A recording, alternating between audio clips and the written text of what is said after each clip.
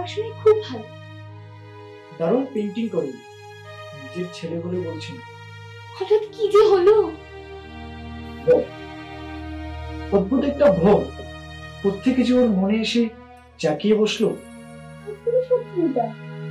হঠাৎ একদিন চিৎকার করে বলে উঠল বেডরুমের পাখাটা নাকি মাথায় ভেঙে পড়বে? তিন বছর ধরে যাতায়াত করছিল বাসেই যেত। কিন্তু এখন যেতেই চাইছে না। কি যে হলো আমার ছেলেটা? সত্যি কিছু বুঝতে পারছি না। সে আমাদের কাজের মেয়ে। অনেক বছর হলো আমাদের বাড়িতে আছে। রিক তো ওর হাতেই মানুষ। আসলে আমরা দুজন চাকরিজীবী তো বুঝতেই পারছেন বুঝলাম। আমি রিকের সাথে একটু কথা বলতে চাই। কিন্তু একা।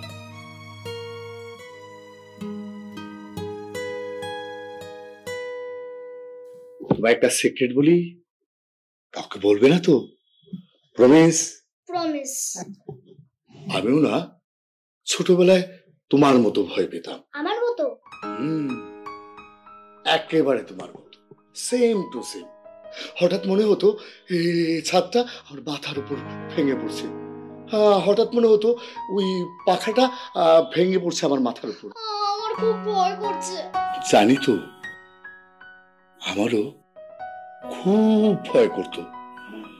আমাকে না একজন ভয় দেখাতো।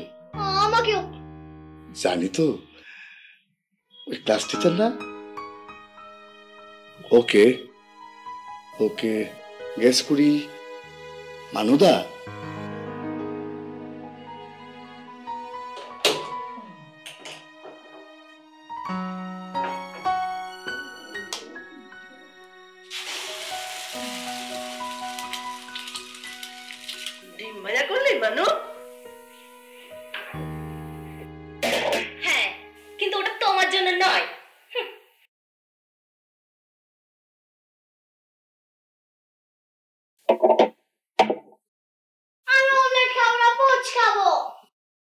আজ খেয়ে নাও রিকু। কাল আবার তোমাকে আমি পোচ করে দেবো। না আমি পোচ খাব পোচ খাব পোচ খাব। এত করে যখন বলছে করে দাও না মানু।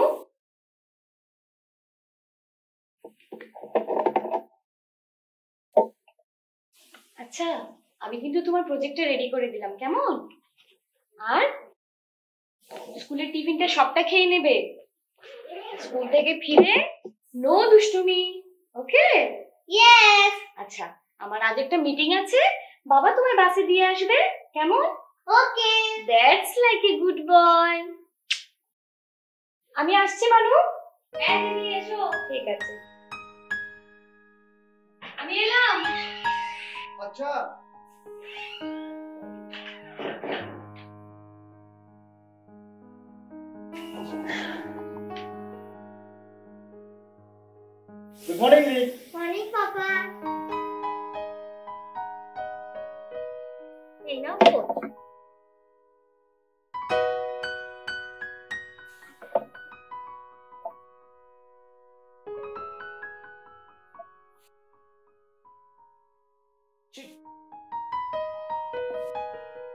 চাটা নিন আচ্ছা দাদা বিস্কিট দেবো? আর বিস্কিট দাও।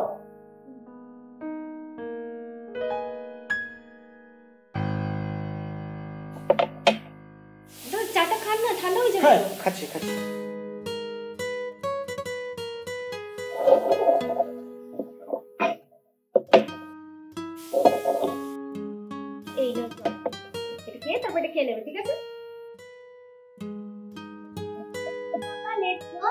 হ্যাঁ হয়ে গেছে ওকে লেটস গো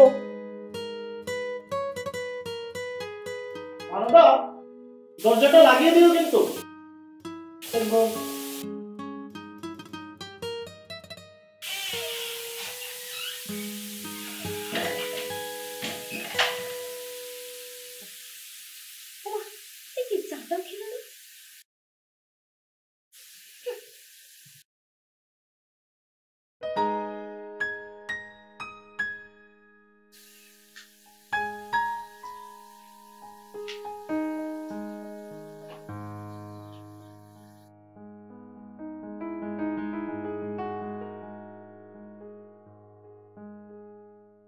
একটু চিনি দিতে পারিস। দুবেলা কি পাচন গিলতে ইচ্ছে করে? ডাক্তার বাবু না বারণ আছে। তোমাকে তোমার না ওই চিনি বেড়ে গেছে না? তবে আর কি। কাল থেকে ওই বাথরুম ঘরে আমার চায়ের ব্যবস্থাটা করিস। বাজে তো। দেখতে পাচ্ছ না টিভিতে চলছে না। শোন আমার খিদে পেয়েছে আমার খেতে দে। দাও দাও একটু একটু একটু একটু এখন শুরু হয়ে যাবে। তুই শুনতে পাচ্ছিস? আমার খিদে পেয়েছে খেতে দে। উফ। এই বুড়িটা না আমাকে একদম একদম জ্বালিয়ে খেয়েছে আমাকে।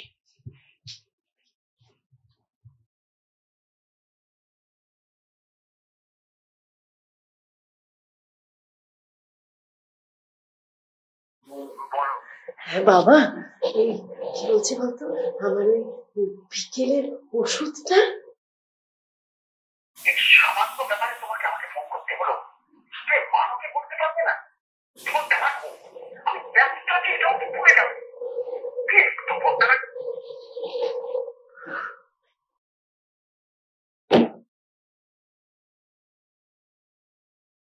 এই নাও। তুমি সত্যি খবর বল। বৌদিমণি আমায় যা বলেছে আমি তাই দিয়েছি। এবার যদি কিছু বলার থাকে তুমি তোমার বৌদিমণির সাথে কথা বলে আমি শুকনো মুড়ি খাব না।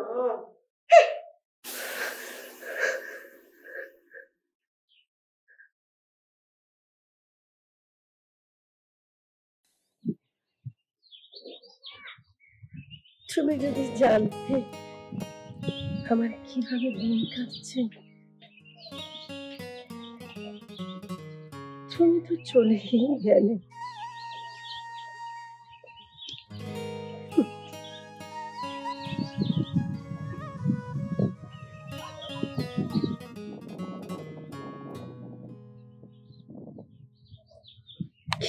বলব দাদু ভাই উঠছিস কি? খেলছি। ও বাবা এখনও খেলছিস এ মা তুই খাওয়াতে খাওনি। ঠাম্মা আমার ভালো লাগছে না। না ভালো লাগবে না বললে হবে না। কে নাও কে আগে কে নাও তো। ঠাম্মা আমার খিদে নেই। আচ্ছা ঠিক আছে। ঠিক আছে দাদু ভাই আমি খাইয়ে দেবো। দাদু ভাই তোমার? ঠাম্মা আমার ভালো লাগছে না। আচ্ছা শোনো যদি না খেয়ে নাও মাম্মা মেশে খুব বলবে তোমার। ঠাম্মা তুমি খেয়ে নাও না। আমি খেয়ে নেব। খাওয়ার কথা বললি বাবা। এই বাড়িতে আমার খাওয়ার দিকে তো কারোই খেয়াল নেই। আমি যে এই বাড়িতে আছি কদিন বাদে তো সবাই সেটা ভুলেই যাবে। তাও বলছি বাবা খেয়ে নি মা খুব রাগ করবে। তুমি আর আমি ছাড়া এ ঘরে কেই বা আছে মা জানবে কি করে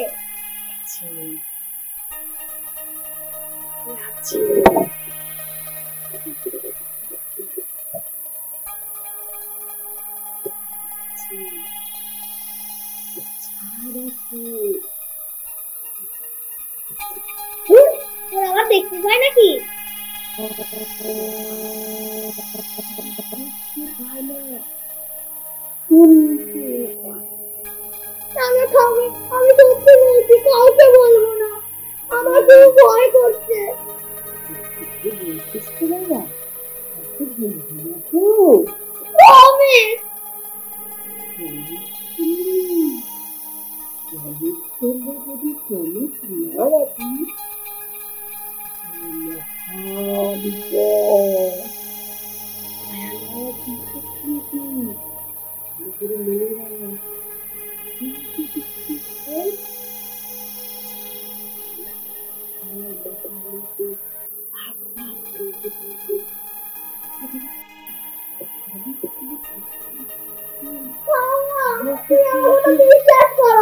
আমি কাউকে কোনোদিনও দেখ বাবা আমি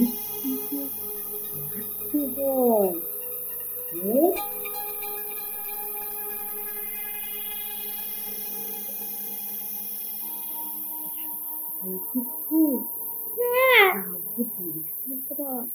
না না না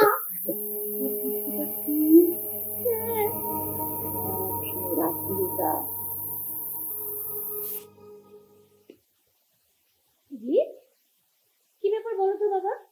কদিন ধরে দেখছি তুমি খুব বাধ্য ছেলে হয়ে গেছো কোনো দুষ্টুমি নেই টিফিন সবটা খেয়ে নিচ্ছ। কি হলো বাবা? কি ব্যাপার? ভেঙে যাবে ভেঙে যাবে। কি হলো? এরকম করছ কেন বাবা?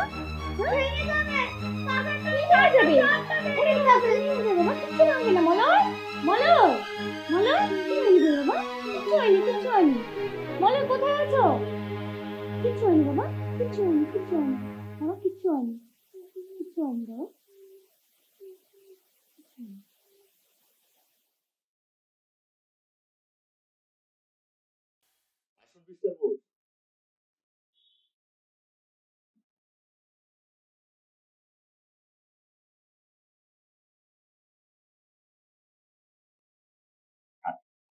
এসো হ্যাঁ হ্যাঁ, চলে এসো।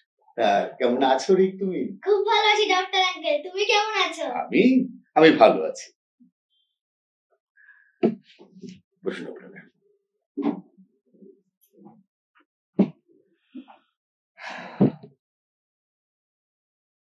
মিস্টার বোস এটা কি করছেন আপনারা বলুন তো? মিস্টার বোস আপনার মায়ের প্রতি আপনার একটা কর্তব্য আছে।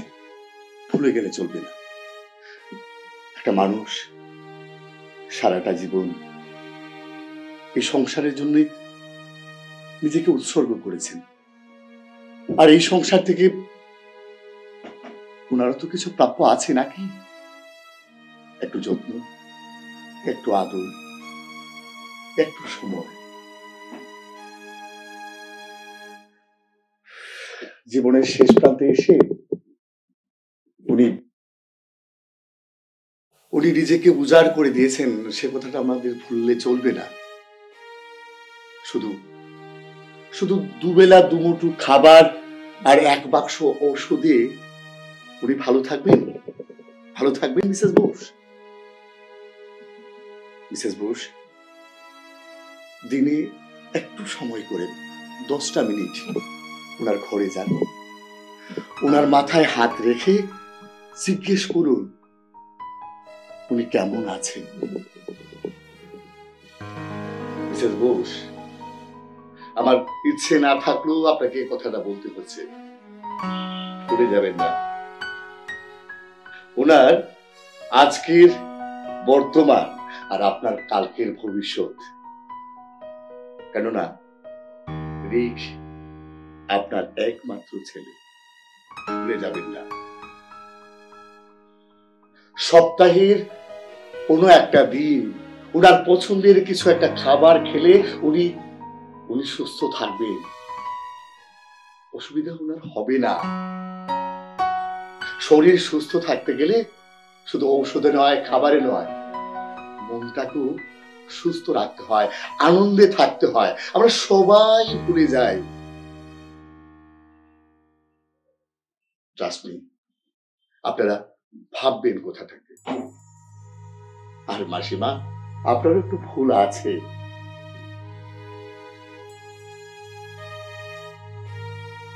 ভুলে যাবেন না। সময় এখন পাল্টে গেছে। দৈত্য, দানব, ভূত, পেতনি, মঙ্গল অমঙ্গলের গল্প এখন আর চলে না। এখনকার শিশু মন খুব নরম।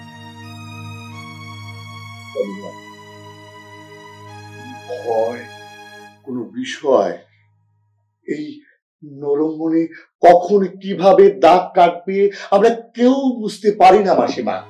কেউ বুঝতে পারি না। আর মাসিমা, আপনার আদরের নাতি, রিক, এভাবে